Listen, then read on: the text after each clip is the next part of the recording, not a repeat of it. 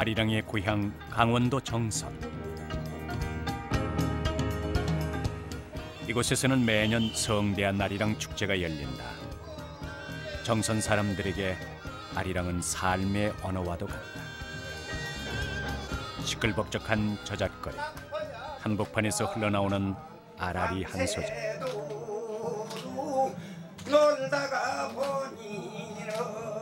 정선 사람들은 삶의 표현을 자연스럽게 아리랑 가락에 실어왔다. 1년 그 아래 365일에 산에 살정을 담아 축제 중에는 칠연 위령제도 열린다. 정선 아리랑의 모태인 칠연의 전설이 내려오는 이곳.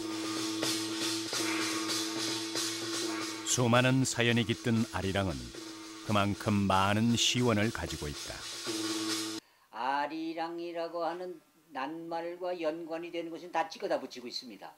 다시 말씀드리면 낭랑이라고 하는 나라 거기에서 낭랑이 아리랑이 됐다. 그 다음에 박혁거세의 부인인 알령 알령에서 아리랑이 나왔다. 그리고 양지동 교수는 아리라고 하는 밝음 고개 여기에서 어, 아리랑이 나왔다. 또 그런가 하면은 여진에서는 아린이라는 말이 있는데 아린 그건 고향이라는 뜻이랍니다 여진말로. 그래서 거기서도 나왔다. 또 그리고 생산과 다산을 의미하는 알에서 나왔다. 알에서 알 나왔다. 또 고려가요에 나오는 후렴 얄얄얄랑상 얄라리얄라와 같은 그런 후렴에서 왔다는 소리도 있습니다. 그런데 아리랑의 고향인 정선에서는 아리랑이라고 하는 가지를 않고 아랄이라고 했습니다. 정선 아랄입니다. 그런데 아랄이라는 것은 뭔 뜻이냐면 누가 나의 이 억울한 심정을 알려 알아주소서. 이제 여기에서 나와서 아랄이라고 했습니다. 정선 아리랑의 시원은 600년을 거슬러 올라간다. 고려 말 7명의 충신이 이성계의 폭정을 피해 숨어든 거칠현. 당시 고려 멸망의 한을 담아 지었다는 한시 중 누가 내 마음을 알리오라는 구절이 오늘날 아라리가 됐다고 한다. 정선아리랑 사천수의 제1절 여기에는 정선아리랑의 역사, 시원 이런 것이 함축돼 들어있는 거예요. 어떤 노래든 그 1절에는 결정적인 그 노래를 좌우하는 겁니다. 1절에는 노래를 짓는 사람이 어떤 경우든 첫 절만 맨 먼저 짓는 거거든요. 그것이 모티브가 되는 것이고 그것이 주제가 되는 것이고 그리고 전통적으로 우리 민요는 노래의 첫 절을 따가지고 노래 공명을 만들어요. 그렇다고 한다면 이 눈이 올라나 비가 올라나 억수장 맞을라나 만수한 검은 구름이 막 모여 온다라는 이 노랫말은 정선아라리의 시원이라고 하는 고려말 상황 그리고 그것이 정선아라리 개입해서 정선아라리가 형성되는데 확산이 됐다라고 하는 것 이것을 입증해주는 그 노랫말입니다. 눈이 올라나 비가 올라나 억수장 맞을라 원래 아라리는 가장 원초적인 삶의 노래였다. 그러나 시대상과 결합되면서 새로운 전기를 마련한다. 산 검은 구름이 막모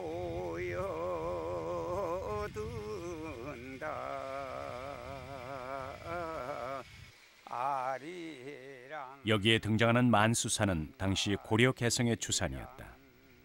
만수산에 몰려온 검은 구름은 고려의 멸망을 의미했고 동시에 정선에 숨어든 칠연의 전설과도 역사적으로 일치한다.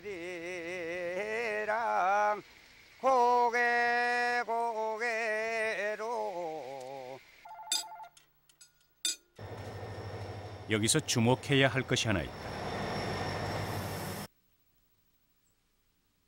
아리랑은 오랜 세월 입에서 입으로 전해져 내려온 구전 민요라는 것이다. 특히 정선을 비롯한 강원도 일대의 아리랑, 즉 아라리는 삶에서 자연스럽게 배 나오는 노동요, 메나리조의 그 뿌리를 두고 있다.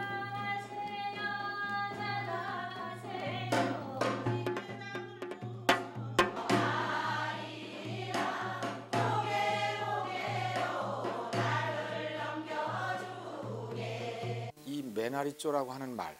그러니까 매는 메산자 할 때 우리말에 산이고 아리가 남죠.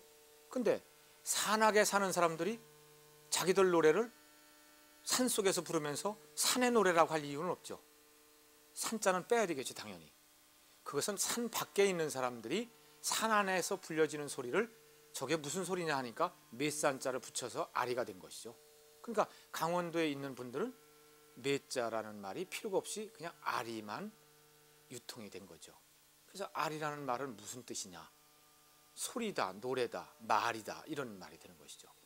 메아리라고 할 때 산의 울림, 그것은 곧 산의 노래, 산의 소리, 산의 말 이렇게 되는 것이죠. 그것이 에, 노래였던 것이죠. 노래였고 노래 제목이었고 그것이 후에 아리랑 아리랑 아라리요 할 때 아라리요라는 말로 후렴이 된 거죠. 후렴의 하나의 음소가 된 거죠. 그러니까 곡목도 아리였고 노래에도 아리가 있을 수 있고 후렴에도 아리가 들어 있는 것이죠. 그래야만 강원도에서 불려지는 아라리가 메나리다라고 하는 것이 입증이 되는 것이죠.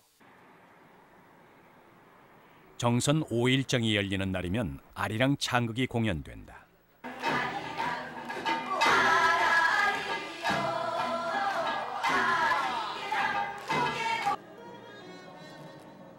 아리랑 창극의 배우들은 모두 정선의 평범한 주민들이다.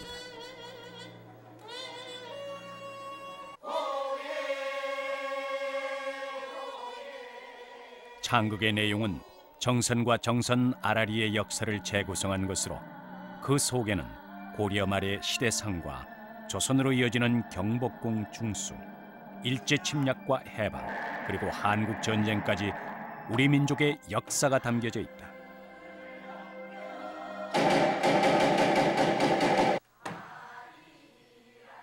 아리랑은 시대와 시대 사이 그 역사의 질곡 속에서 끊임없이 역동하며 내려왔다.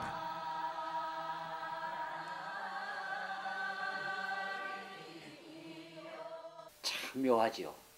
아리랑의 시우어는 대한민국의 역사가 다 담겨져 있어요. 낭낭시대의 낭낭에서 나왔다. 박혁거세의 부인 알령에서 나왔다. 그러면 벌써 삼국시대가 나오죠. 아리수어는 광개토대왕과 고구려시대의 얘기죠. 또 고려시대에 넘어오면서 고려 말대의 정선나랄이 여기가 나옵니다. 또 그런가 하면은 일제 강점기 때도 아리랑이 살아 있었습니다. 그 이전에 경복궁 중수 때도 아리랑이 살아 있었습니다. 이런 것을 보면은 한국의 역사적 전개에 따라서 아리랑은 살아왔다.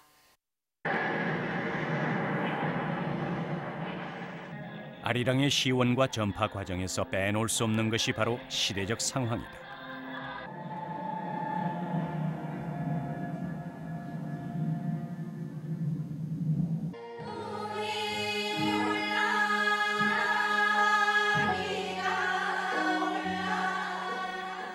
아리랑은 깊은 땅속 마르지 않는 샘처럼 긴긴 세월 한민족의 삶과 함께 흘러온 소리다.